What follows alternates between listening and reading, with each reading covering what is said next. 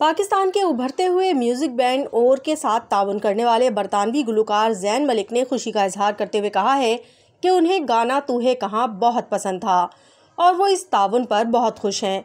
अमरीकी म्यूज़िक और entertainment website Billboard को इंटरव्यू देते हुए जैन मलिक गाने की रिलीज़ पर खुशी का इजहार करते हुए कहते हैं कि जब पाकिस्तानी म्यूज़िक बैंड और ने इनसे गाना तू है कहाँ पर एक साथ काम करने के लिए रबता किया तो उन्हें बहुत खुशी हुई। जैन मलिक का कहना था कि उन्हें ये गाना बहुत पसंद है और उम्मीद करते हैं कि उनके मद्दाहों को भी ये गाना बेहद पसंद आएगा। पाकिस्तानी म्यूज़िक बैंड और के गुलकार अहद उसामा और राफे ने भी खुशी का इजहार करते हुए कहा है कि मौसीकी की कोई हद नहीं होती और वो इस ताउन पर बहुत ज़्यादा पुरजोश थे। उनका कहना था कि गाना तू है कहाँ उनके एक ख़ास मकाम रखता है।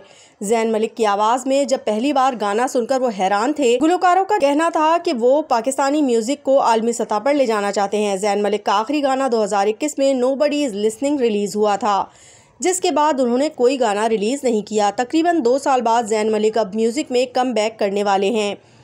और पाकिस्तानी गुलकारों के साथ इनका तावन इस बात का इशारा है कि वो अब म्यूज़िक की तरफ़ दोबारा लौट रहे हैं। गाना तू है कहाँ को यूट्यूब पर करोड़ों लोग सुन चुके हैं और पाकिस्तान, भारत में स्पॉटिफाई की फहरिस्त में पहले नंबर पर था।